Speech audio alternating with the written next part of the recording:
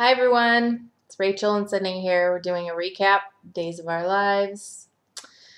So, let me just say first of all that it's been really hard to snag this girl because it's homecoming weekend.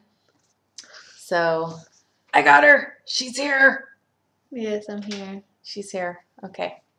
So, the week started out with a bang. No. Dork. no, so okay, so the first thing we see is um, Daniel surprising Jennifer with coffee and donuts. Muffins. Okay, muffins, whatever. So who walks in? Jack. So Jack walks in and he's like, "Hey Jennifer, I got your coffee just how you like it." And Daniel's like, Ugh.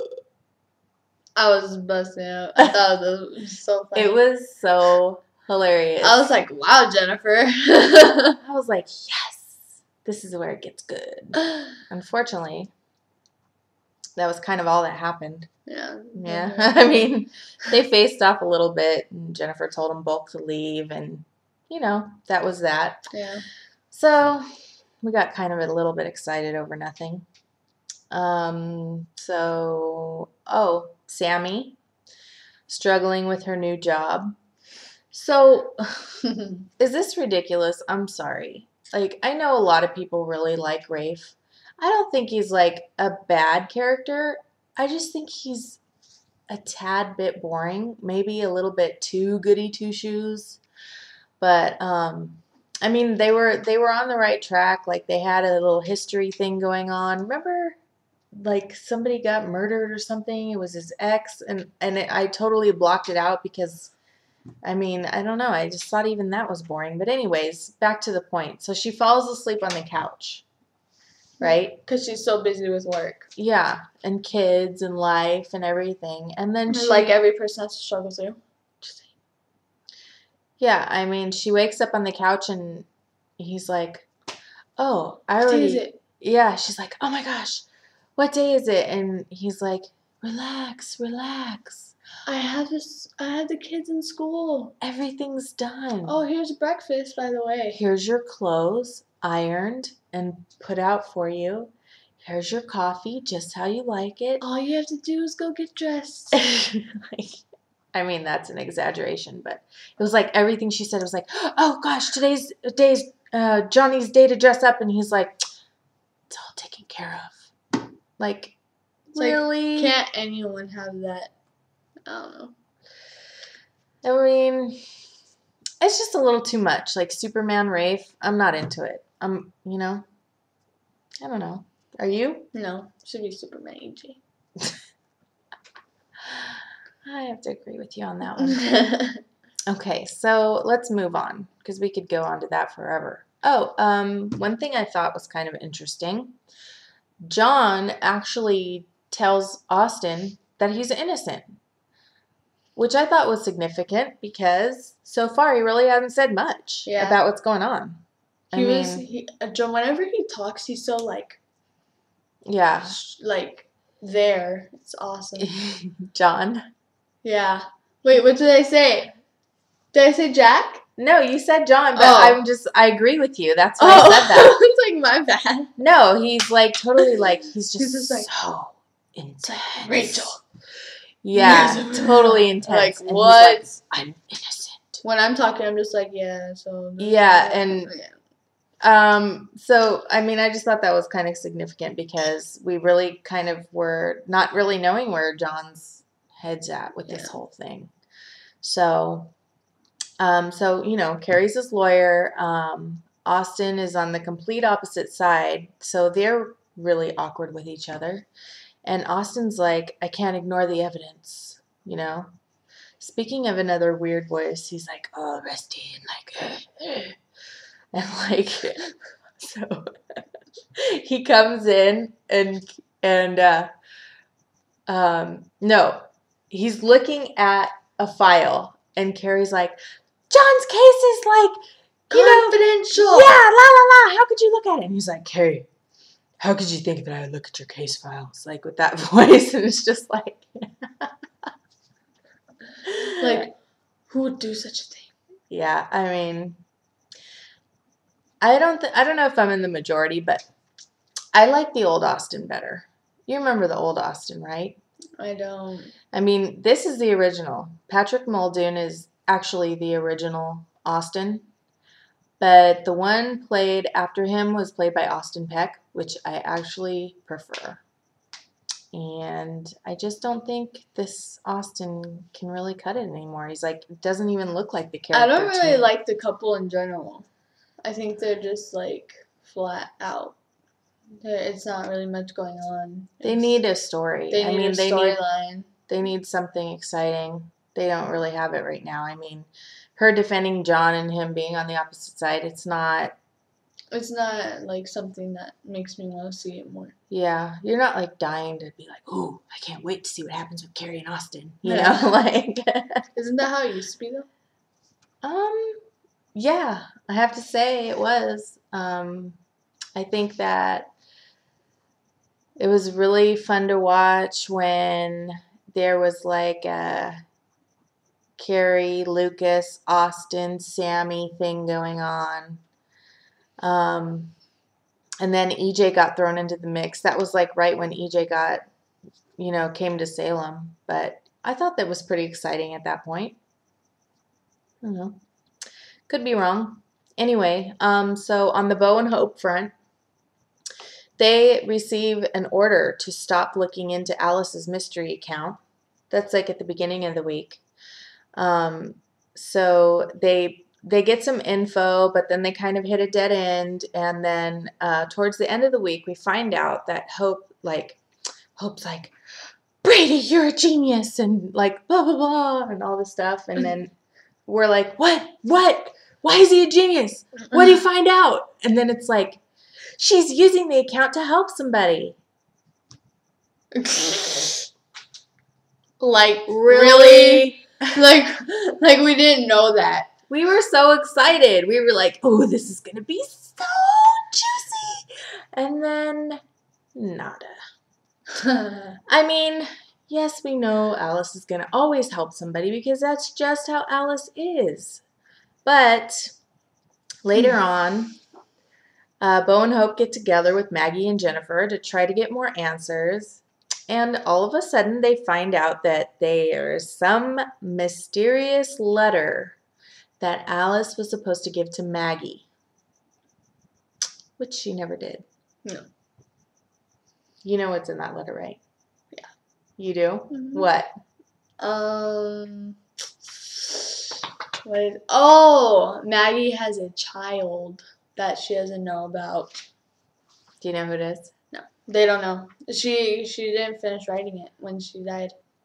It was just like, Maggie, you have a child, and I know that this is hard for you, but it's actually good in the long run. I know. Ooh, Not telling you. that's not fair. This isn't a spoiler. It's a recap. Okay, well, you're gonna tell me after this is over. I will tell you after this is over. I'm sure everybody on here already knows. Everybody's on Twitter. They already know all the spoilers. But anyways, I'm not saying it on here. So, um, let's see. We'll have to backtrack a little bit. Um, oh, so, um, one little cute thing that happened this week Maggie, Victor, Melanie getting all gooey gushy over the wedding. Oh, Melanie runs in. with her pretty little dress and her perfect little body and I love Melanie. I do. I love her. I love her Whenever so I see her, she's like I know she'll be with like, her big son. Hey, she totally remembers you. like, hi, yeah, you're the girl with the. Let's see if we can do a Melanie smile. Nope. Nope. That was bad. That was do not want to see horrible. that. yeah, let's not play this I'm not back. playing this. Apologize. Um. Okay, so moving right along from that. She's so nice though, and pretty and Yeah, gorgeous she's and awesome. sweet, and I we love Molly. We're totally fans of Molly. Um. Ooh, how about when Jack busted in and pulled Chad off of Abby? oh no no no no! I have a lot to say about He that. was mad too. I was like, mm. I was like, oh my god. I was like, oh, he's gonna hurt him. I was like, he's gonna throw out the but Chad was so cool. He was just like, "What?" You Yeah. know, like he's so cute. Dude, because he's so hot. you know that him and Melanie are. Oh, my bad. No spoilers. I'll tell you later. Okay. Um. okay, so Jack busts in, pulls Chad off of Abby. Abby's like, "You're a liar and a jerk," and blah blah blah. And I'm so sick of Abby yelling and whining. Am I the only one? Not. Oh, I yeah. he doesn't have the right to do that. He doesn't, but she doesn't have the right to be disrespectful. That's her dad. No more Abby. Grow up. Be a woman. Never mind. That's not.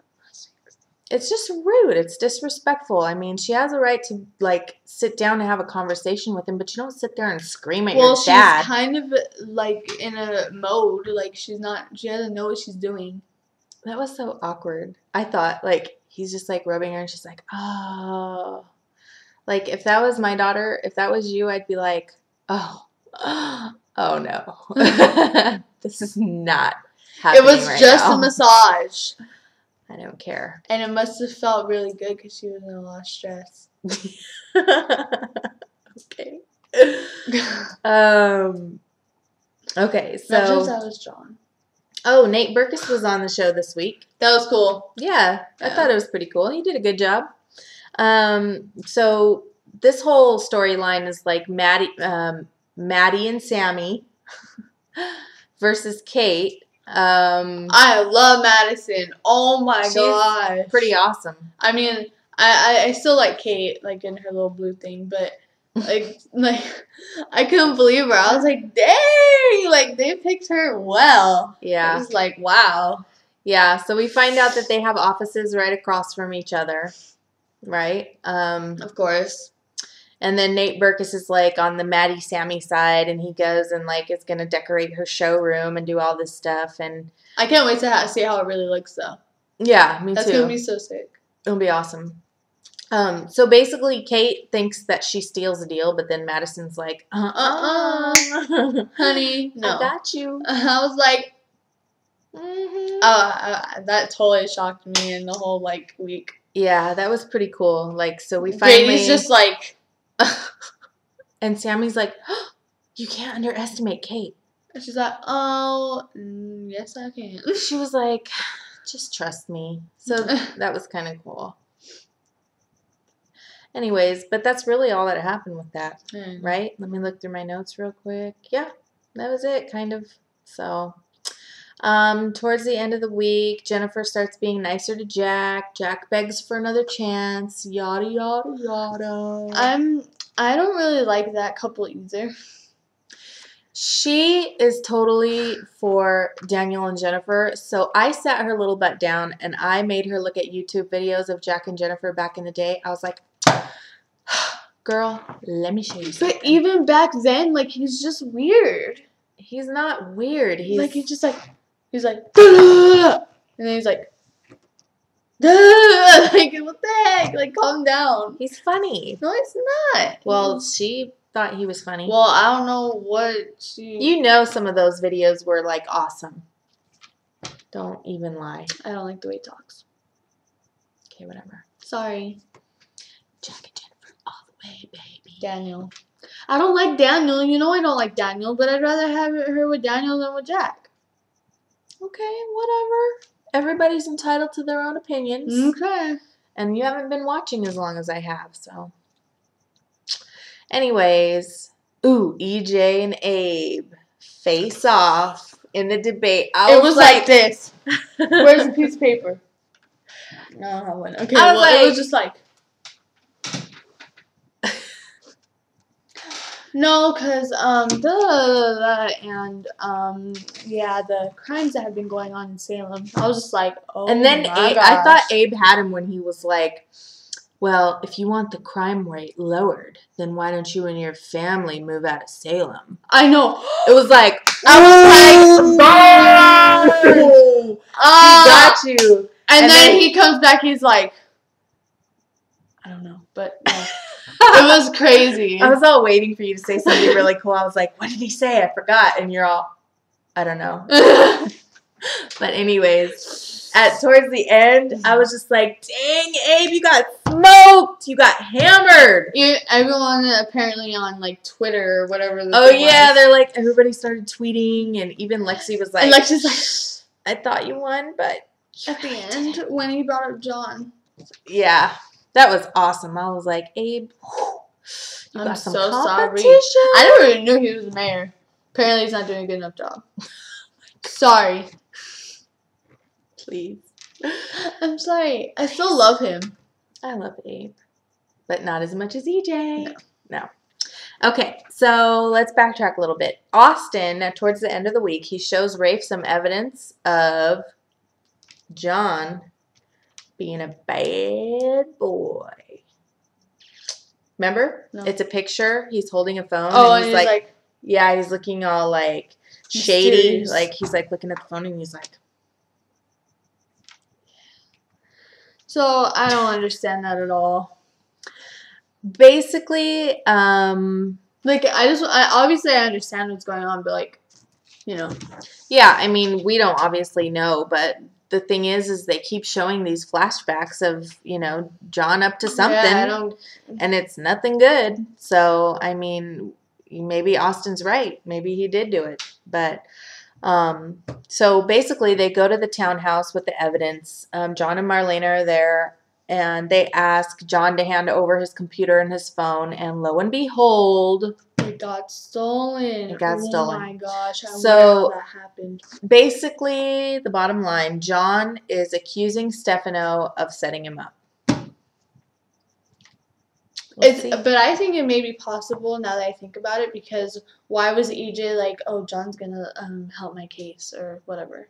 maybe know? i don't know So maybe they all set it up to get him the election. but we're at 17 minutes know. so let's wrap it up Let's um okay so daniel gets uh daniel goes to victor. This was so hilarious. This whole conversation i wish i would have written down more quotes because it was so funny.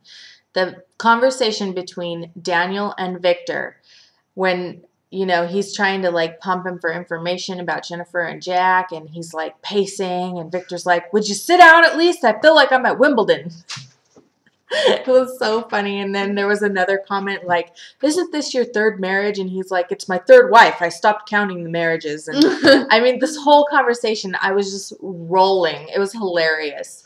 So, um, after that, Victor kind of asked Maggie to help convince Jennifer to stay with Daniel and not Jack. And Maggie's like, I always want marriages to work. How could you? What are you thinking? Maggie's so like, do not ask me to do anything bad ever. Anyways, so uh, basically, Jennifer agrees to go on a date with Daniel. They they go on a date. They talk about Jack. She admits she's confused, and she admits she still loves Jack. No. Heart. Um, and then the very last thing we see is Marlena going to Stefano's house. Dun, dun, dun. Stefano, I don't know if you guys have seen it. I want to talk to you. Anyways, so that's it. It was fun talking to you guys, and we'll see you next week. See ya. Bye.